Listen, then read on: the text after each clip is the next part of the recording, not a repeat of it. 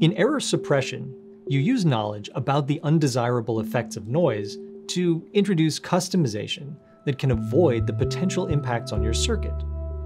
This approach addresses errors at the level of gate control and compilation before any post-processing. These techniques often consist of altering or adding control signals to ensure that the processor returns the desired result. Let's consider a specific phenomenon. Idle qubits can accumulate errors from environmental interactions or crosstalk interactions with neighboring qubits, leading to dephasing or coherent shifts. Therefore, having qubits sit idle until the next pulse is applied may result in large error rates.